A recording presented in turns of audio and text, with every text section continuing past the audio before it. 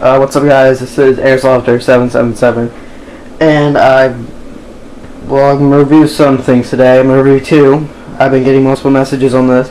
Um, on my M4, Echo One M4, I had my red dot sight, and I've been getting multiple messages about um, what that sight is.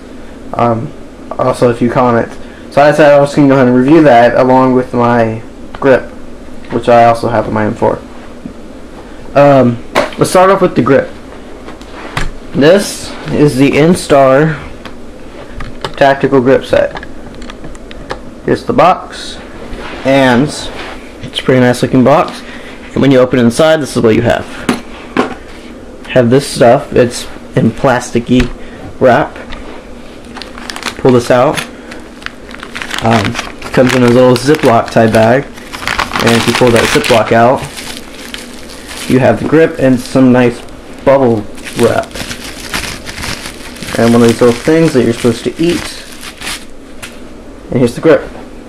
Uh, you unscrew the bottom, like that, and pulls this thing down, and slides onto your rails. Speaking of rails, this also comes with its own custom rail.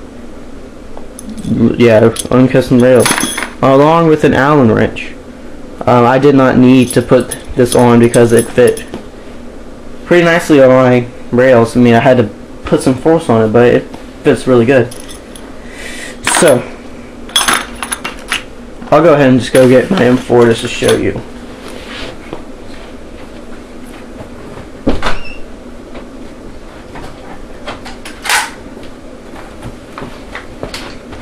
Alright, my M4.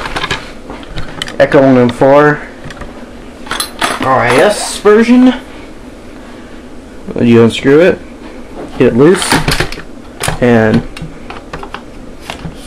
slides on.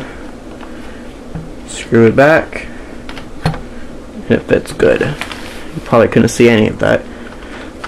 Unscrew it, pull it off. Looking to the camera, so it's kind of hard. Put it back on and screw it on.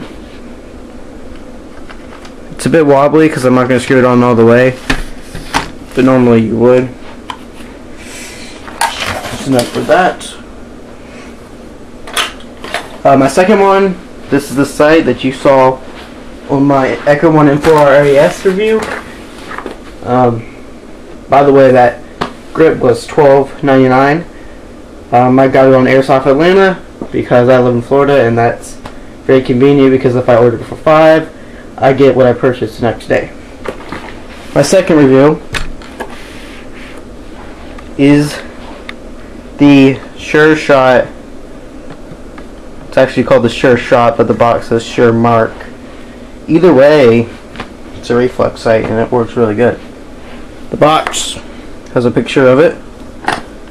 Got some things written on it precision, accuracy, adjustable reticle, brightness, stuff like that.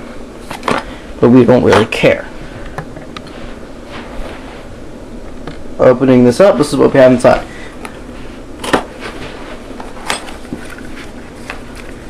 Unfolds like this, like an origami box.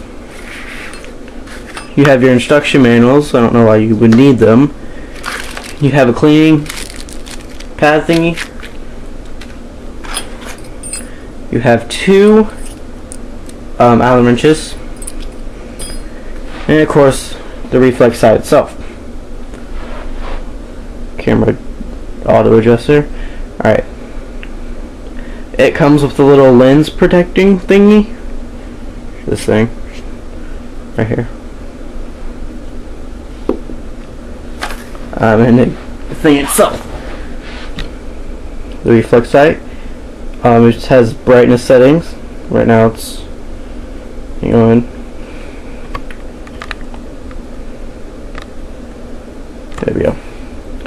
Um, right now it's at zero. If you turn it to the right, it's on one, two, three, four, oops, five, six, seven, zero.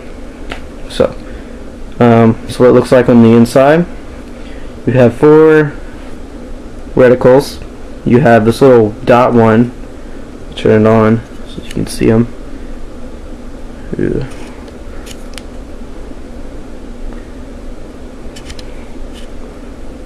There we go. Have this little dot one. And then you just slide this. It's almost like be something you'd see right there. It'd be something like you'd see in a video game or something like that.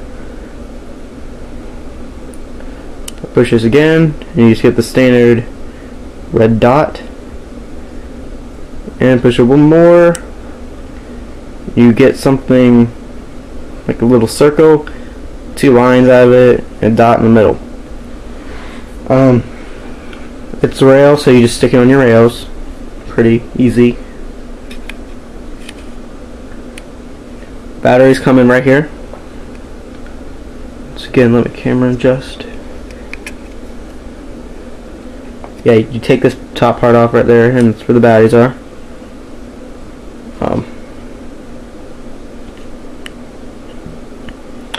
yeah, and what was I about to say? Oh, the adjustment. The adjusting, um, you use this one, the bigger Allen wrench, and you put it right in the hole that says up. I can make it. And you just stick it in like you can't do it like this because it'll end up bumping that so just stick it in like the top way. Like that. And then twist it this way if you want the uh, sight to go up. On this side you have right stick it in and move it this way and your sight will start moving to the right. Uh, so that's about it for these two reviews. Um, I'm like I won't be reviewing. I thought I was gonna be reviewing a KWA Glock 18. Uh, some of you may not know, they discontinued them about a long time ago so I can't really get them anywhere, and nobody's willing to sell them theirs to me.